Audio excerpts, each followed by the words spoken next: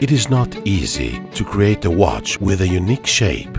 After all, the research, development and custom tooling to manufacture these super watches, they can cost hundreds of thousands, if not millions of dollars.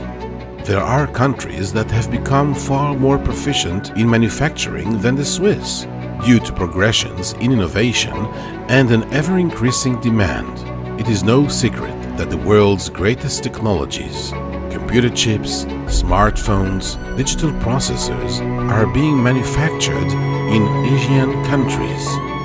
This type of manufacturing and engineering requires extreme precision, some would say more so than a timepiece. But why should such a small complication and unique design define the heavily inflated price of a superwatch? Traditionally, all superwatches and their movements are made in Switzerland. For years, this has not changed. People are still paying hundreds of thousands of dollars for a single timepiece. They can set the price tag because they are the only ones doing it. They are the monopoly. Following this tradition will lead us nowhere.